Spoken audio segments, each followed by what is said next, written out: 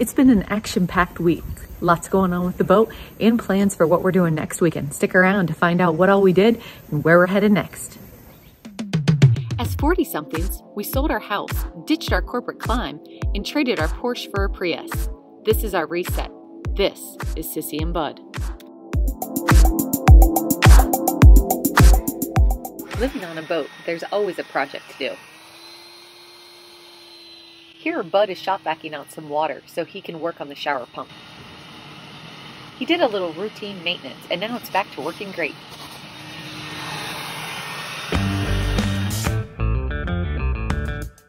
Next, Bud tried some of our new Norwex cloths on the windows. It took away a lot of the spots.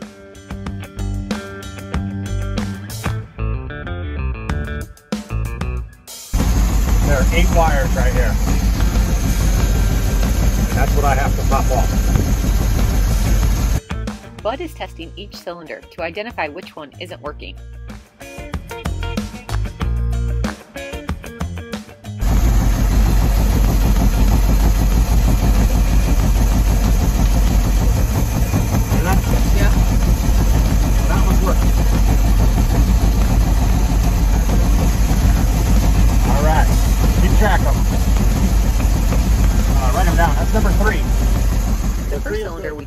Working okay, so now we're on to test the second one.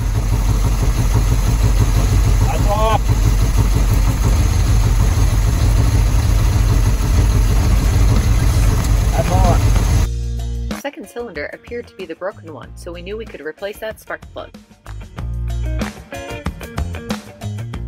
Bud successfully got the number 6 spark plug replaced. The first day of fall is here, so we're excited. In long sleeves again, drinking coffee, enjoying this nice cool weather. But it's supposed to warm up some today. We're doing another little maintenance thing on the engine because we had it all winterized last year. So we just have a couple things we need to do. Right now it's fuel filters. So hopefully we'll get that done and be able to take her out today. We'll see. A friend of ours came down to help with replacing the fuel filters. They replaced the canister fuel filter and the carburetor fuel filter on both engines. Bud used a pass-through underneath the refrigerator to get to part of the port engine. Our friend was also working on the port engine, but he was coming in through the engine hatch.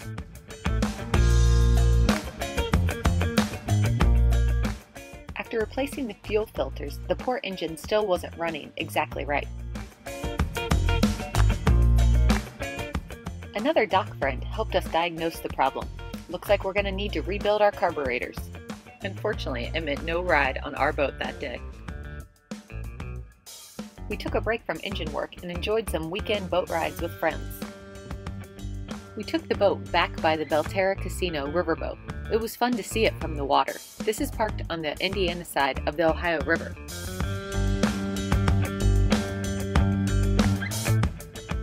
Fun fact, this riverboat was supposed to open in August of 2000, but it hit a barge en route and sank, therefore delayed the opening by a couple of months. I took this picture so you could see the dinghy on the back for a little bit of perspective on the size of this boat.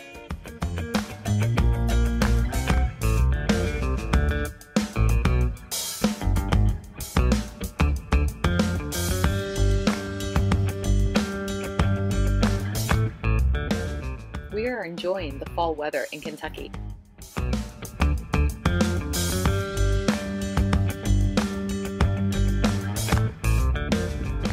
We went out for yet another beautiful sunset cruise.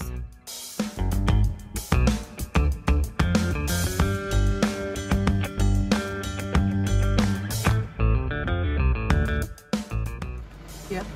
And it says four right next to it. They're easier seen from here without these in the way. See the four, I'm touching it right there. See back here, there's a six. Right there. Uh-huh. And there's an 8 So I'm putting the spark plug in the eighth cylinder. So even though that looks like they're in a pair and they're in a pair, they're really spaced out, like one, two, or sorry, two, four, six, eight, but they're equally spaced. So these wires are coming down here and then towards me into these holes. Once we identified the issue with the carburetor, Bud had to replace all eight spark plugs. Next up is using this contraption to do an oil change. In a car, the oil is drained from a plug in the pan. There isn't room to do this on the boat. So instead, the oil is extracted through the dipstick straw. Hey, we are headed up to Northern Kentucky. We are selling my car today. So we go away every winter and we have to winterize it and store it somewhere so it just doesn't seem to make sense anymore. So today's the day we get rid of it. October also starts Breast Cancer Awareness Month. I'm planning to do a short video every day to help raise awareness, especially for women under 50. I'll put a link here, and it will be in the description if you want to access the Breast Cancer Journey playlist.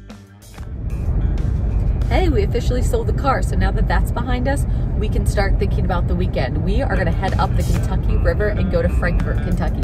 So we're headed out on our friend's pontoon boat on Saturday morning. So we need to start thinking about what are we going to pack, which won't be a lot since it's only one night. But there's a lot to think about. Even gas. Are we going to have enough gas in the boat? I think we might have to take a gas can just in case. What do you think, Bud? Oh, I am so excited. The Kentucky River is a tributary of the Ohio River. We will be going through four locks to get to Frankfort, Kentucky. We'll be sure to capture lots of video so you can see all of these different locks. Be sure to hit subscribe so you don't miss it when we upload the video. Subscribe to the Cissy and Bud channel to explore more fun locations. Get your mammogram. Talk soon.